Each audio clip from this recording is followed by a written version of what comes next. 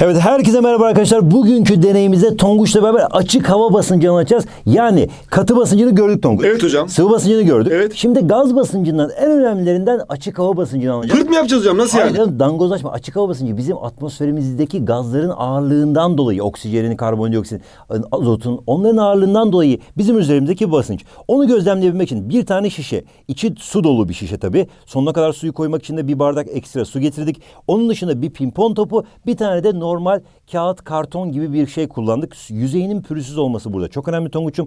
Şimdi yapmamız gereken deneyi hemen başlayalım. Şişenin içinde su var ama suyu sonuna kadar tamamlamamız gerekiyor. Yani son raddeye kadar dolması gerekiyor. Artık taşacak gibi olması gerekiyor. Taşacak gibi olduktan sonra pimpon topunun pürüzsüz bir tarafını bulup ki buldum hemen buradan çat pürüzsüz bir tarafını bulup hemen koymamız gerekiyor üzerine. Sonrasında Tonguç'um hiç hava taneciğinin kalmayacağı şekilde bunu çevirdiğimiz zaman görüyorsun Tonguç'um.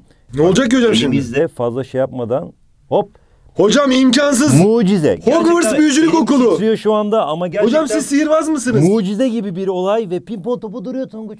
İnanmıyorum hocam, kadar şu anda. Su, o kadar su taşınıyor. Çünkü Ben yapsam olmaz. Bak Tonguç'um mantık şu. Açık hava basıncı buradan bastırıyor bu suyun aşağı doğru düşmesini engelliyor. Bilim bu mudur Demek hocam? ki açık hava basıncı gerçekten çok kuvvetli bir şey. Hatta birazcık sana Hocam bence çok şansınız zorluyorsunuz. O, öyle- evet gerçekten döndürmeye çalışıyorum topu. Hocam top hem duruyor hem dönüyor.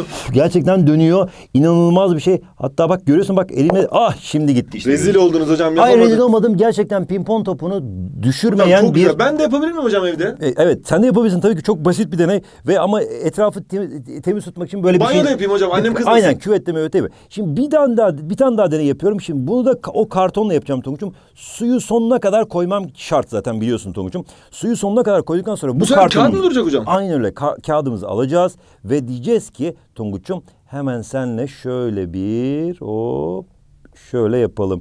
İnşallah hava kabarcığı kalmıştı. Bak döndürürken zaten hava kabarcığı kalsaydı e, o gözükürdü. Bak görüyorsun Hocam, kağıt da suyu tutuyor. Gerçekten mucizevi olaydı bak ama kağıt birazcık şey olmaya başladı. Kaymaya başladı. O yüzden dikkat etmemiz gerekiyor. Hocam, görüyorsun ya. mükemmel bir şekilde. Ben evde bunu kesin deneyeceğim. Bak Annem böyle görmesin. böyle bir platform şeklinde kayıyor. Hocam resmen Ama o kadar ediyorum. suyu taşıyabiliyor. İşte önemli olan burada şu. O su nasıl taşınıyor hocam? Tonguç'um aşağıdan ve her taraftan bir açık hava basıncı var. Atmosfer basıncı diyoruz. Bunu kim bulmuştu?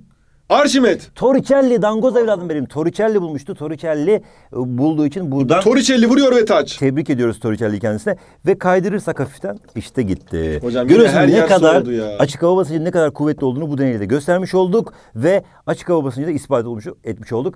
O zaman diğer videolarımızda, diğer deneyimizde görüşmek üzere. Hocam çok bakalım. keyifli geçiyor. Hep deney yapalım. İnşallah hadi bakalım.